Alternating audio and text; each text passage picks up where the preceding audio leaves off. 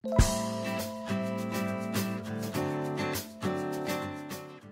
รมานสุดในชีวิต จากคนสูงสุดไม่เหลืออะไร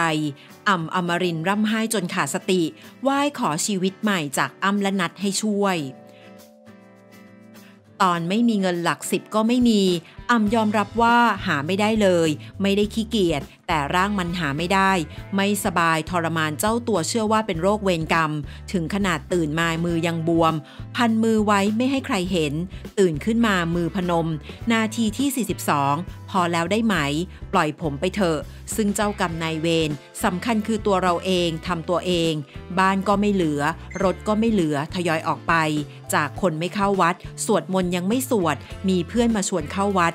ด้านอ้ำอธิชาติได้รู้เรื่องพี่อ่ำมีปัญหา เพราะนัดมีเรียภรรยา พาพี่อ่ำไปฟังธรรม เลยได้เจอพี่อ่ำ จากคนสูงสุดมากๆ วันที่เขาล้มลงไปหัวฟาด ได้ให้เหรียญพระเจ้าตากไป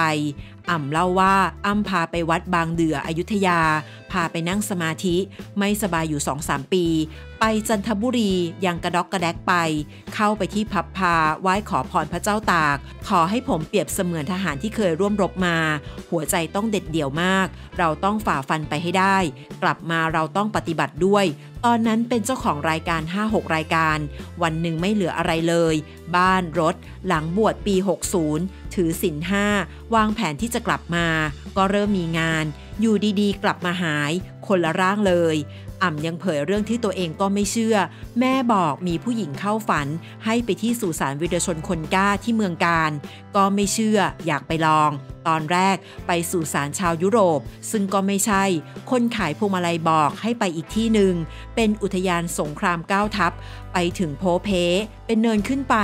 จนไปเห็นป้ายอุทยานก้าวทัพ ก็ร้องไห้โดยขาดสติ รู้ตัวแต่หยุดไม่ได้ ขับไปมืดๆ เหมือนอะไรมาช่วยให้เราพุ่งขึ้นเนินไปอีก ไปที่จอดรถหนึ่งเป็นสาร ไฟหน้าส่องไปเป็นป้ายกรมพระราชวังบวรสุรศรีหนาถบุญมา